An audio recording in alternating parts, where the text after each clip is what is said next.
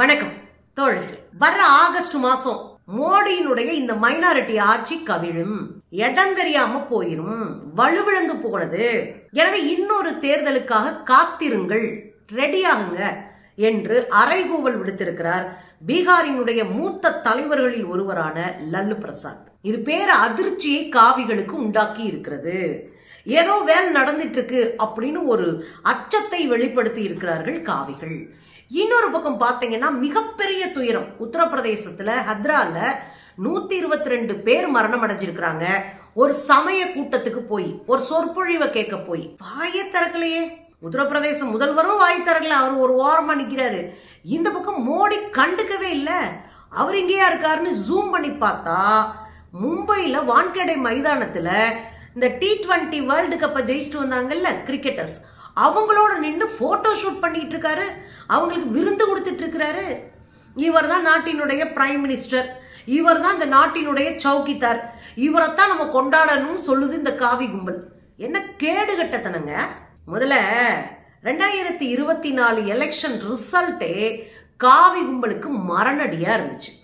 காவி கும்பல் தோத்து போனாங்கன்றத ரிசல்ட் சொல்லுச்சு.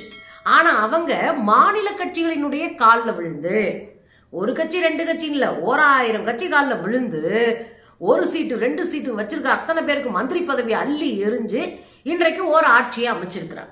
இதுவும் எத்தனை நாளைக்கு நிற்கும்னு தெரியாது. ஏன்னா ஒரு ஒருத்தரும் ஒரு ஒரு டிமாண்டை வச்சு நெருக்கிக்கிட்டு இருக்கிறாங்க இந்த ஆட்சி. இதுல சாதிவாரியான கணக்கெடுப்பு வேண்டும். பிற்படுத்தப்பட்ட மக்களுக்கு இடஒதுக்கீட்டை அதிகமாக கொடுக்கணும். சாதிவாரி கணக்கெடுப்பை உடனடியாக நிகழ்த்தணும். அதோடு இல்லாம சிறுபான்மை மக்களுக்கு இடஒதுக்கீட்டை உறுதி செய்யணும். இப்படி எதெல்லாம் பிஜேபி கும்பலுக்கு பிடிக்காதோ அதெல்லாம் மொத்தமா கட்டம் கட்டி சொல்லிட்டு இருக்கு கூட்டணி கட்சி. அதுல அக்னிவீர் திட்டத்தை உடனடியாக ரத்து செய்யணும் வேற. அப்ப பெரிய மொழி பிதுங்கி போய் உட்கார்ந்துருக்காரு நம்ம ஜி ஐம்பத்தாறு இன்ச் மோடி. இவருக்கு கூட்டணி கட்சி தான் அடிச்சு ஓட விடுறாங்கன்னா நாடாளுமன்ற கூட்டத்தொடர் தொடங்கினாலும் தொடங்குச்சு. மனுஷனை சுத்து போட்டு சாத்துறாங்க உள்ள இருக்கிற எதிர்கட்சிகள் அதுவும் எதிர்கட்சியா இருக்கும் போதே அந்த ஆட்டம் ஆடினவர் எதிர்கட்சி தலைவரான பிறகு ராகுல் அத்திரடியான ஒரு ஆட்டத்தை வெளியிட்டிருக்கார். சும்மா செதற விட்டு கதற விட்டு ரோட்ல இறங்கி உருள விட்டுருக்காரு காவிகளை. அவர் கேட்ட கேள்வி ஒன்னொன்னு நச்சு நச்சு நங்கூரம் மாதிரி பாய. காவிகள் அந்த பிளேட்டை திருப்பி போட்டு ஒரு கலவரத்தை தூண்டி விட்டுலான்னு அதுக்கு ஒரு வேலையை பார்த்துட்டு இருக்கிறாங்க. காவிகள் ஆட்சி ஏற்ற ரெண்டாயிரத்தி இருபத்தி நாலுக்கு பிறகு மிகப்பெரிய மோசமான பின்னடைவு இந்தியா மேலும் சந்திச்சிருக்கு. பதினோரு பாலங்கள் இடிஞ்சு விழுந்திருக்கு பீகார்ல மட்டும். நூத்தி இருபத்தி ரெண்டு பேர் ஹத்ரால செத்துருக்குறாங்க. அங்க நானூறு பேர் செத்ததா உள்ளூர்வாசிகள் சொல்றாங்க. எது உண்மைன்னு தெரியல. இன்னும் பார்த்தீங்கன்னா ஏராளமான கண்ணீர் கதைகள். இந்தியா முழுவதும் சோகம்தான். இங்கிட்டு ரயில் விபத்தாகுது இங்கிட்டு படகு கவருது இந்த பக்கம் பார்த்தீங்கன்னா ஹத்ராவில் சாகுறாங்க. இப்படி ஒரே கண்ணீரும் கம்பளையுமாக இந்த நாடு இருக்கிறது. இந்த நாட்டினுடைய ராஜா தன்னை மன்னர் என்று பறைசாற்றி கொண்டு செங்கோலை பிடிச்சிட்டு போன நம்முடைய ஐயா ஐம்பத்தாறு இன்ச் மோடி அவர்கள் அந்த துயரங்களை இப்படி கூட திரும்பி பார்க்கல. அது லேசாக கடக்கண்ணை கூட காட்டல. எனக்கென்ன எவனும் செத்தானோ? அவர் பாட்டு தெரியுறாரு. இதுல என்ன கொடுமை தெரியுங்களா? இதனாலேயே மக்கள் ஏராளமா அதிருப்தியில இருக்கிறாங்க. அடிச்சு ஓட விட்டுன்ற கொலவெறியில இருக்கிறாங்க. இப்படி கூட்டணி கட்சிகளுடைய நெருக்குதல் ஒரு பக்கம் இன்னொரு பக்கம் என்ன ஆரம்பிச்சிருக்கிறாங்க இந்தியா கூட்டணினா இது ஒரு மைனாரிட்டி அரசு. நாளைக்கே புட்டுக்கிட்டாலும் புட்டுக்கும். இந்த அரசின் மீது நம்பிக்கை வைக்க முடியாது. இந்த அரசு தோத்து போகிற அரசு அப்படின்னு பிரச்சாரத்தை ஆரம்பிச்சிட்டாங்க. மக்களை சந்திக்க ஆரம்பிச்சிட்டாங்க. அப்பதான் லாலு பிரசாத் யாதவ் என்ன சொல்றாருன்னா நிச்சயமா ஆகஸ்ட் மாசத்துல கவிழுதுங்க இந்த ஆட்சி கவிழும். பலமளந்து போச்சு. போல போல நின்றுகிட்டு இருக்கு. ஒரு தட்டு தட்டுனா மொத்தமா உந்துரும் அதுதான் மோடியுடைய ஆட்சி. அதனால தன்னுடைய கட்சிக்காரர்களை அழைச்சு எல்லாரும் பிரச்சாரம் பண்ண தொடங்குங்க இப்பயே. இப்பயே பிரச்சாரம் பண்ணுங்க. மோடி ஆட்சி கேடுகட்ட ஆட்சி.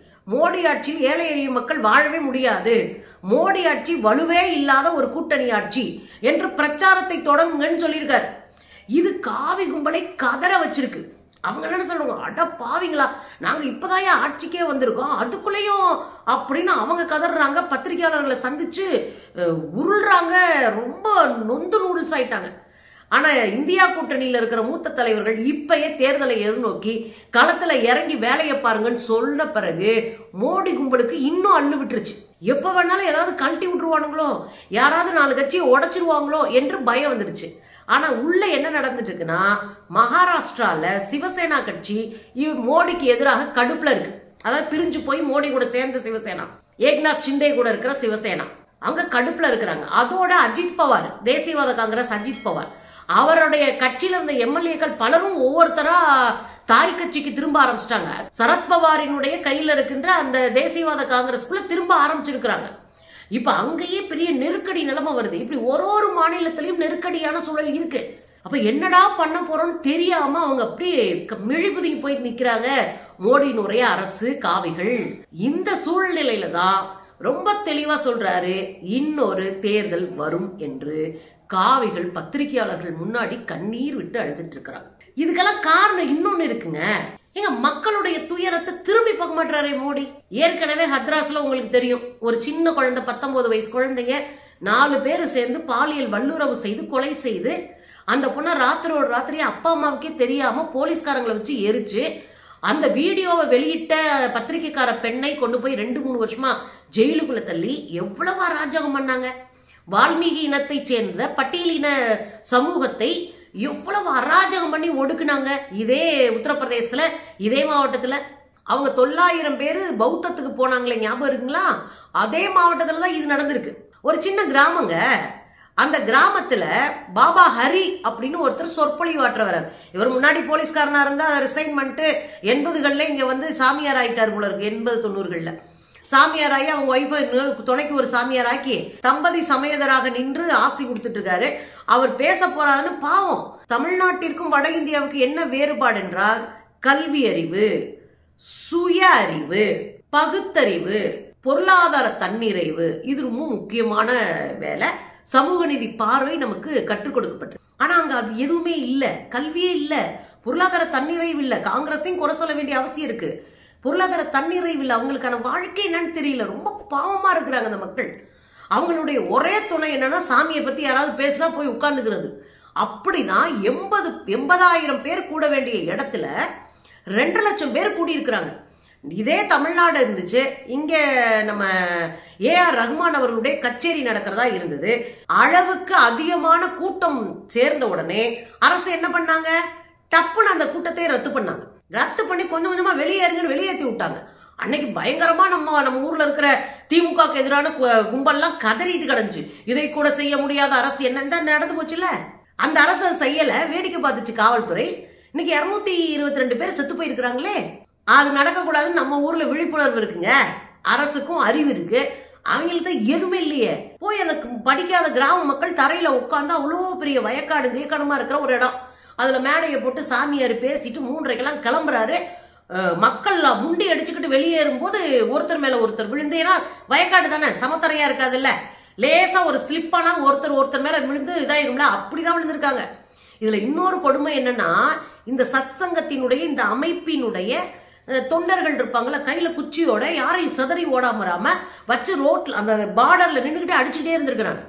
அதனாலேயே பல பேர் திரும்ப உள்ளுக்குள்ள வந்து இந்த நெருக்கடி அதிகமாகி போச்சு. இந்த செத்து போனவங்களுடைய உடற்கூறு ஆய்வுல என்ன தெரியுதுன்னா நெஞ்செலும்பு உடஞ்சி வரிச்செலும்பு உடஞ்சி அது இதயத்துல குத்தி இப்படி கொடூரமான சாவா அந்த சாவு இருக்கு. இருநூத்தி இருபத்தி ரெண்டு பேர் இதுவரை செத்துருக்குறாங்க. அரசு எவ்வளவு நிவாரணம் அறிவிச்சு தெரியுமா?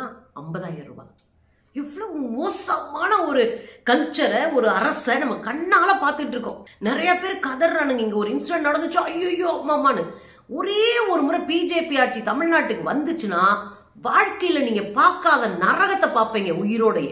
அதெல்லாம் புரிஞ்சுக்கிட்டு தான் நம்ம வேலை பார்த்துட்டு இருக்கோம் அரசியலா. உடனே பிடிச்சி சொம்படிக்கிறாங்க இரநூறுவாய்க்கு சொம்ப அதெல்லாம் என்ன அந்த அந்த ஆளுங்க மூஞ்சியை கூட நாங்கள் நேராக பார்த்தது கிடையாது. கூட்டணி தர்மத்துக்காக மட்டும் பேசல இன்றைக்கு அவசியத்துக்காகவும் பேசிட்டு இருக்கோம். இப்ப பாருங்க அந்த மக்கள் செத்து இருக்கிறாங்க ஒரு இடத்துல ஒரு இருபது வயசு பையன் அவங்க பாட்டியை தேடி போறான். அவங்க பாட்டி செத்ததா தகவல் வருது. அவங்க பாட்டி ஹத்ரால இருக்கிற கவர்மெண்ட் ஹாஸ்பிட்டலுடைய பிணக்கடங்களை தேட போறான். போய் பார்த்தா அவங்க அம்மா போனம் கிடச்சிருக்கு. எப்படி கதறி இருப்பான் அந்த பையன்? இருபது வயசு பையங்க. என் பிள்ளை வயசுங்க. கதறி பண்ணல அவன். ரொம்ப நெஞ்சு வலி வந்துருச்சுங்க. படிச்ச எனக்கேவும் இன்னொருத்தர் கூலி வேலைக்கு வெளியூருக்கு போயிருக்காரு. அவர் உங்க அம்மா செத்து போயிட்டாங்க வான்னு சொல்ல வீட்டுக்கு வந்து பார்த்தா பொண்டாட்டி செத்துருக்காங்க. ப- ஒன்பது வயசு மகளும் செத்து போச்சு. ஒரு வீட்டில் இருக்கிற மூன்று பெண்களும் செத்துட்டாங்க. இதுல என்ன தெரியுங்களா? ஏழு குழந்தைகளை தவிர ஒரு ஆணை தவிர மற்ற அத்தனை பேரும் பெண்கள்ன்றாங்க. இவ்வளவு கொடூரம்னு பாருங்க. அந்த குடும்பம்லாம் சல்லி சிலையா உடைஞ்சிருக்கும்ல. உடஞ்சு போயிருக்கும்ல. இதுல இன்னொன்னு கூட யோசிங்க நானூறு பேருக்கு மேல செத்ததா பத்திரிகைகள் எழுத ஆரம்பிச்சிருக்கிறாங்க. நேரடியா அந்த மக்கள் சொன்னாங்கன்னு சொல்லி எழுதி இருக்கிறாங்க இவ்வளவு கொடூரமா இருக்குன்னு பாருங்க. இதுல இன்னொருத்தர் சொல்றாரு எங்க அம்மாவுடைய உடம்பு ஆக்ரால இருக்கு. என் ம என்னுடைய மகளுடைய உடம்பு அலிகார்ல இருக்கு. இப்ப மூணு ஆஸ்பத்திரிக்கு நான் அழிஞ்சிட்டு இருக்கேன். என்னால அந்த பிணங்களை வாங்க முடியலன்னு கதறி அழுகிறாரு. இவ்வளவு கொடுமையா இருந்திருக்கும் பாருங்க. ஒரே குடும்பத்தை சேர்ந்த மூணு பேர் நாலு பேர் அப்படி செத்துருக்குறாங்க. அரசு இதை பற்றி வாய் திறக்கலைங்க. மோடி இதை பற்றி பேசவே இல்லைங்க. அவர் மணிப்பூர்ல இழ விழுந்தாலும் பேச மாட்டாரு இதே குஜராத்ல மோர்பி பாலத்துல விழுந்து நூத்தி நாற்பத்தி ஒரு பேர் செத்து போனப்பையும் வாய் திறக்கல. இங்கேயும் வாய் திறக்கல. அங்க போராட்டம் பண்ண மல்யுத்த வீராங்கனைகள் அடிச்சு நாயடி பேயடி அடிச்சு ரோட்ல இழுத்து போட்டாங்க குடிச்சிட்டு வந்த காவலர்கள். அதையும் வேடிக்கை பார்த்தாரு. வேடிக்கை பார்க்கறதுக்கு எதுக்குங்க பிரதமர் நமக்கு? மக்களினுடைய துயரங்கள்ல கூட இருக்கேன்னு வந்து நிக்கிறவர் தான் தலைவராக இருக்க முடியும். அவர் தான் தகுதியாக இருக்கிறவர் பதவிக்கு. ஆனால் மோடி எப்படி தகுதியானவர் இந்த நாட்டினுடைய பிரதமருக்கு சொல்லுங்க. வேடிக்கை பார்க்குற இன்னைக்கு இத்தனை பேர் அத்தனை பேரும் உழைக்கிற வர்க்கம் என்பதனால் வேடிக்கை பார்க்குது. ஐம்பதாயிரம் ரூபா கொடுக்குறோம். நாலு நாளைக்கு பத்தாதுங்க ஐம்பதாயிரம். எவ்வளவு கொடூரமான ஒரு சோகமான ஒரு சூழல் அந்த மக்கள் அந்த ஆட்சியின் கீழே இருக்கிறாங்கன்னு பாருங்க. எனக்கு ரொம்ப வருத்தமா இருக்கு. இவர் என்ன எங்கடா இருக்காருன்னு ஜூம் பண்ணா வான்கடை மைதானத்தில் உட்காந்துக்கிட்டு உலக கோப்பையை முத்தம் வச்சுக்கிட்டு கிரிக்கெட் வீரர்கள் தோலில் கட்டிக்கிட்டு அவங்களுக்கு ஜெர்சியை கையில் கொடுத்துக்கிட்டு அங்கே உட்காந்து ஃபோட்டோ ஷூட் நடத்திக்கிட்டு அங்கே போய் பல்ல காட்டிக்கிட்டு வெற்றி கொண்டாட்டங்களில் மட்டுமே தன்னை அடையாளப்படுத்திக்கிறது எவ்வளவு கேடுகட்டத்தனம் அது அரசியலாக நான் கேட்குறேன் எங்கள் ஊரில் ஒரு பழமொழி இருக்குங்க நல்லதுக்கு போகாட்டினாலும் கெட்டதுக்கு போனுவாங்க எங்கள் ஊரில். நீ ஒரு கல்யாணத்துக்கு போகாம கூட இரு ஆனால் ஒரு சாவு ஒரு துயரத்தில் போய் பங்கெடுன்னுவாங்க. எங்க ஊர்ல ஆடு மாடு செத்தா கூட இளவுக்கு போய் கேட்கிற மாதிரி போய் கேட்டு வருவோம். அதுதான் தமிழ்நாட்டில் சொல்லி கொடுத்தது. ஒரு மற்ற துயரத்துல பங்கெடுன்னு. ஆனா அந்த நாட்டினுடைய பிரதமருக்கு யார் சொல்லுவா? அவருக்கு தான் கேளாத செவிகளால இருக்கு. அவருக்கு இனிச்சொற்கள் மட்டுமே தானே காதில் விழுகுது. சந்தோஷம் மட்டும்தானே காதில் விழுகுது. அவர் கண்கள் மகிழ்ச்சியானதை மட்டும்தானே பார்க்குது. ஆனால் இந்தியாவில் இருக்கிற கோடான கோடி உழைக்கிற மக்களினுடைய துயரங்களை யார் பார்க்க போகிறது இவர் தான் சவுக்கித்தாரா? கேடு கட்டத்தனமா இல்லை? இவரோட ஆட்சி என்னங்க கவுள்றது? மக்கள் சேர்த்து கவுத்தணுன்ற இந்த கேடுகட்ட ஆட்சி எதுக்கு நமக்கு?